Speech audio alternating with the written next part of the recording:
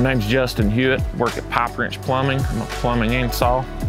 What made me work, wanted to work here at Pipe Wrench was the environment. I heard it was a great company to work for, traveling different jobs, something different every day. Just all around great place to work. Um, I was a chemical operator for a nuclear plant there in Oak Ridge. Uh, just finishing the day and looking back at the work you've done and seeing the, the homeowners being happy with the, the job that you've done and going home feeling accomplished like you've, you've had a good day at work. Uh, my life outside of work is pretty much taken up by my kids.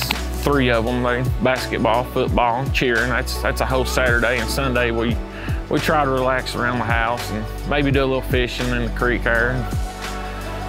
Little yard work, but other than that, that's about it. Not much time for anything else. Kids take it all up.